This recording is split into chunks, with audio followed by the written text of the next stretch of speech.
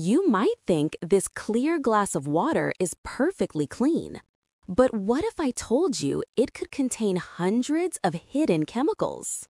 Depending on where you live, your tap water could include chlorine, used to kill germs, but it can leave byproducts, lead from old pipes, PFAS, the so-called forever chemicals found in nonstick pans and packaging, microplastics, tiny fragments from bottles and clothing fibers, and let's not forget pesticides and pharmaceutical traces that sneak in from runoff.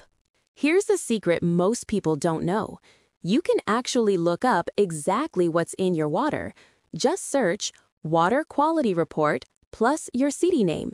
It'll show you all the contaminants your local utility tests for and how they compare to safety limits. To reduce exposure, use a carbon filter to remove chlorine and many chemicals.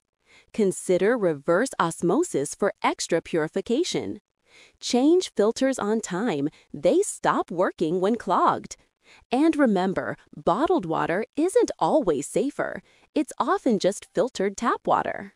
Clean water shouldn't be a mystery.